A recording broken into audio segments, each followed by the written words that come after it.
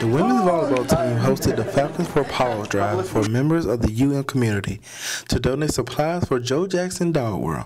The shelter, which started in 2011, is located in Jemison and Chilton County. Unlike many animal shelters, Joe Jackson Dog World is a no-kill sanctuary. Janet Clemenson adopted her dog Scout from there. She says the animal sanctuary is a great asset to the community. Where they have I want to say over 25 to 30 dogs where they've put like a water park in and just done everything for these dogs and year round they're just trying to get people to adopt them. Um, Scout's not ready, but But sometimes the dogs are not a good fit for their adopted family. If it doesn't work out with the family for some reason, they ask the family to bring him back to them, bring the dog back to them so they can at least take care of him. Unfortunately, this was the case for miniature Dachshund named Cookie, who was recently returned to the shelter.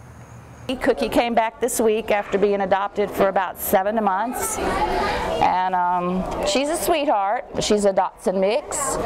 And um, she's looking for her forever home again.